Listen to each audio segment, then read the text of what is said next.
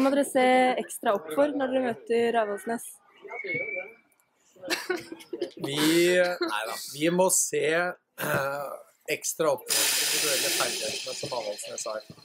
Vi har eh, mange gode individuelle spillere, og det er, eh, det er det vi må demme opp for. Eh, vi må være i overtall i enhver eh, duell defensivt, og det, det er det vi skal øve litt på nå i eh, denne uka her. Fordi at de har mange gode individuelle spillere, som Rosana f.eks.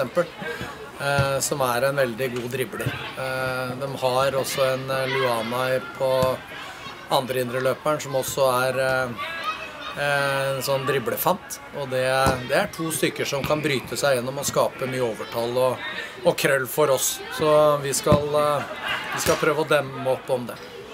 Er du enig, Synne? Ja, jeg er enig. Sist gang så vant eh, Avaldsnes 1-0, men hva må dere gjøre for å vinne nå? Eh, være enda litt mer eh, tighte defensivt. Og så litt større fokus på førsteforsvarerrollen. Og så føler jeg at vi må tørre å slippe oss litt mer løs og ikke ha så veldig respekt for Avaldsnes. For nå har vi hatt to kamper hvor vi på en måte har gått på en litt smell.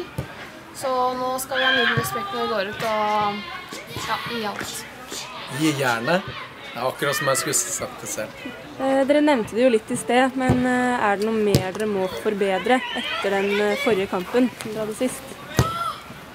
Jeg tror nok at vi må være enda mer effektive. Eh, det å liksom være veldig nøye på eh, de angrepene vi har.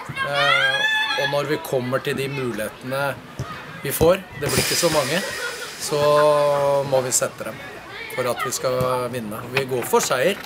Eh, det, det gjør vi egentlig hver kamp. Hvordan forbereder dere dere før eh, kampen? Det viktigste er bare at vi har eh, gode treninger, og at vi har bra nivå på treningene, fordi treningsuka den gjenspeiler kampen på lørdag. Som jeg skulle sagt det selv. Oh my god. I thank you for letting yourself save me.